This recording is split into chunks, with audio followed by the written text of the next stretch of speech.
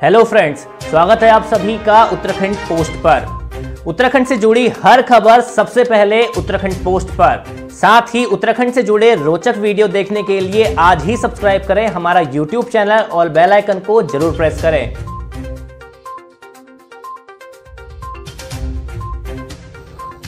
उत्तराखंड में चारधाम यात्रा पर मौसम की मार देखने को मिल रही है। हज़ारों की संख्या में हर रोज दर्शन के लिए पहुँच रहे चारधाम यात्रियों के रास्ते में बारिश बड़ी रुकावट बन रही है। बद्रीनाथ से लौटते हुए जोशीमठ से पहले बारिश होने से पेड़ टूटने लगा, जिससे कई किलोमीटर का लंबा जाम लग गया।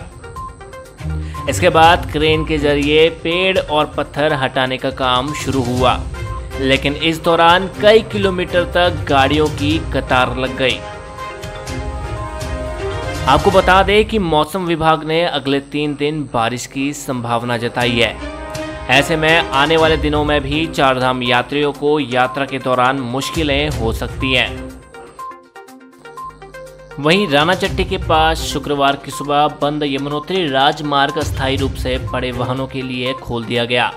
इसके बाद जानकी चट्टी की ओर 80 बसों में सवार 3000 से अधिक यात्री 32 घंटे बाद वहाँ से वापसी कर सके।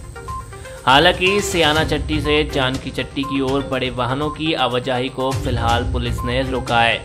केवल छोटे वाहनों और शटल सेवा के ज़रिए ही तीर्थ यात्रियों को जानकी चट्टी भेजा जा रहा है।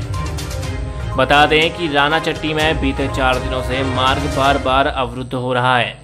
बुधवार शाम को यहाँ पर भू धसाव शुरू हुआ, जिसमें मार्ग अवरुद्ध हो गया। उत्तराखंड से जुड़ी ऐसे ही रोचक वीडियो और खबरें सबसे पहले पाने के लिए आज ही सब्सक्राइब करें हमारा यूट्यूब चैनल और बेल आइकन को ज़रूर प्रेस करें। वीडियो को लाइक करें और शेयर करना ना भूलें।